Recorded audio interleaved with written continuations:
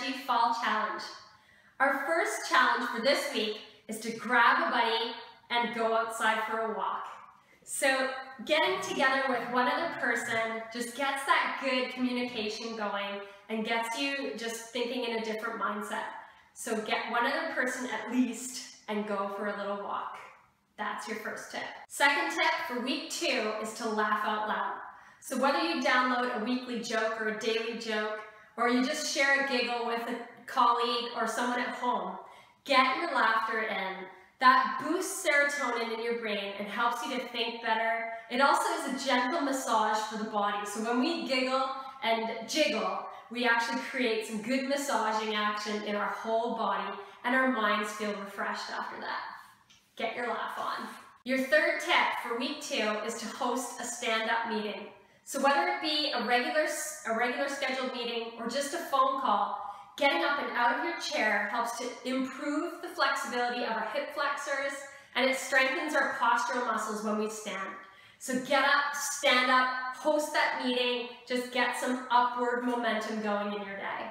The fourth tip of week number two is to do something kind for someone else. No expectations. It has to be random.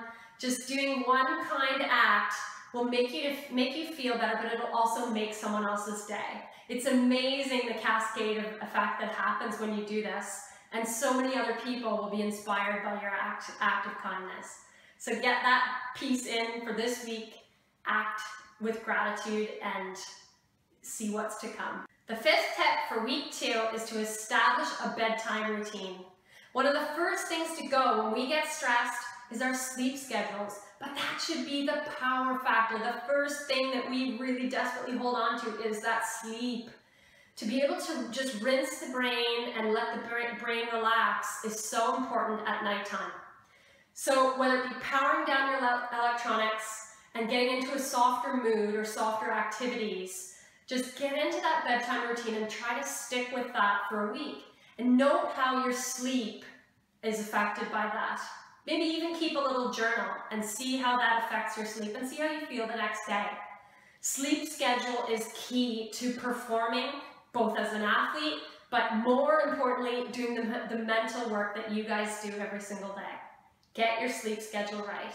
That's it for week two. Stay tuned for week three. Don't forget to upload your points and be part of this amazing challenge.